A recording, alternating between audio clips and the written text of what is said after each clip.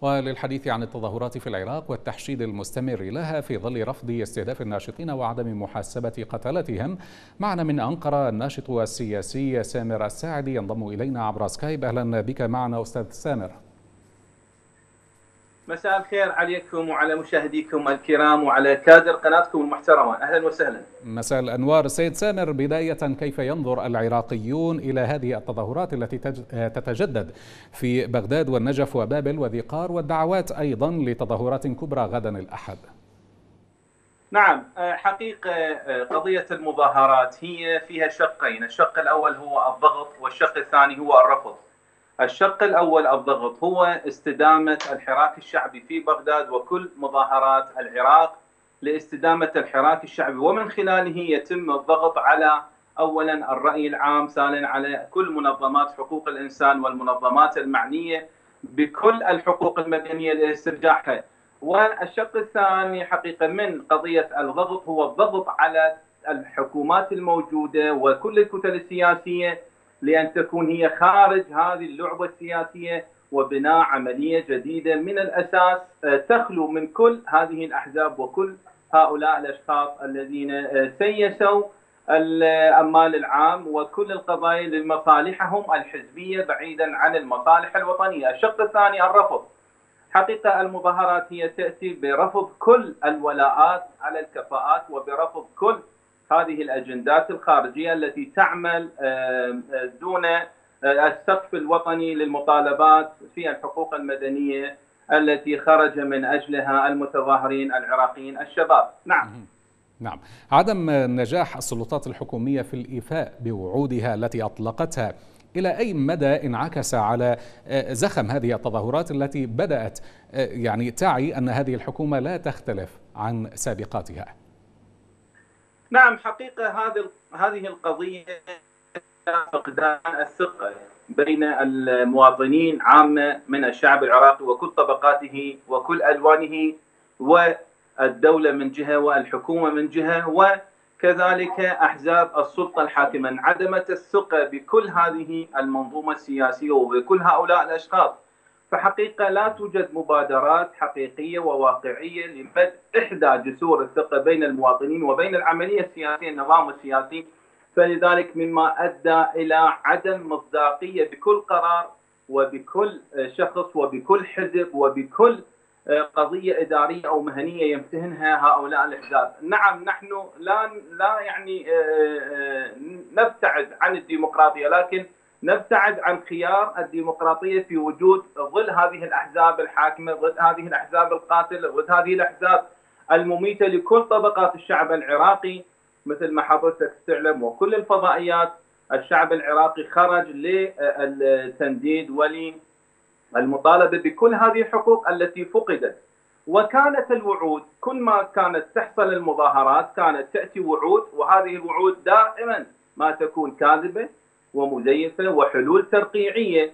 كان من الأجدر على الحكومات الحالية والسابقة أن تأتي بحلول واقعية قبل أن يخرج الشعب العراقي بمظاهرات للمطالبة بهذه الحقوق لكن حقيقة المطالب لم تأتي واقعية من قبل هذه الحكومة ومن قبل حتى الحكومات السابقة مثل ما مظاهرات عام 2016 وقبلها 2011 خروج على الماء على الكهرباء على تردي الواقع الصحي والتعليمي. لكن كانت كل هذه الوعود ترقيعية وكاذبة وغير مجدية لمتطلبات الشعب العراقي. نعم. إذا أردنا الذهاب أكثر من ذلك يعني عدم محاسبة قتلة المتظاهرين حتى الآن وتجميد أيضا التحقيقات حول المتورطين بهذه الجرائم ألا يشي بشكل أو بآخر بتواطؤ حكومي ضد المتظاهرين مع الميليشيات؟ طبعا الميليشيات كما تعلم المتهم الأول بهذه الجرائم. نعم حقيقة القضية الانتخابية تفرز قضايا عدة ومنها السلطة التشريعية وكذلك الادعاء العام. الادعاء العام هذه الحلقة الوسط بين مكاتب التحقيق وبين السلطة القضائية. هذه حقيقة ميتة وفاقدة الوعي منذ سنين منذ عام 2003 ولحد الآن. فلذلك أعتقد أنا وسبق وأن قلت في كل فضائية أنه لم يتم ولا سوف يتم كشف الجنات. وأنا وصفت الجنات. كاسبر باعتبار إنه كاسبر لا يرى لا أحد يفهم هو كيف يتحرك كيف يدور كيف يقتل كيف يسرق كيف يسبى كيف يهجر كيف يعتقل كيف. فأعتقد القضية مرتبطة بكاسبر وهذا كاسبر هو نوع من أنواع أوراق الحكومة الحالية. وإلا حقيقة خلينا نتكلم بصراحة. السيد الآن مصطفى الكاظمي كان ماسك الملف المخابراتي ولا يزال ماسك الملف المخابراتي وهو لديه دراية كاملة واقعية وقانونية ومثبتة. من قنص المتظاهرين ومن أعطى الأمر للجهات التي قنصت المتظاهرين؟ ما هي كانت جهات حكومية ومرتبطة بالقائد العام للقوات المسلحة آنذاك عادل عبد المهدي؟ اذا آه، القضية آه، واقعية لدى الشعب العراقي لكن حقيقة ما تدار تحت الطاولة من قبل الحكومات حتى لا يتم كشف هذه المنظومة التي قنصت المتظاهرين وحتى لا تسقط حلقة من حلقات السلاسل ويتم اتهامهم فيما بينهم. أنا أعتقد هذه هي السياسة المتبعة الآن هي سياسة الاحتواء على الشعب على شعب بأكمله. يعني ومثل ما شهدنا عدة مسؤولين في الدولة ورؤساء أحزاب يقولون يعني أنه المتظاهرين مجموعة شرذمة وكأن المتظاهرين خارجين عن القانون وكأنما الدستور العراقي لا يكفل حقوق المتظاهرين في مواده الدستورية.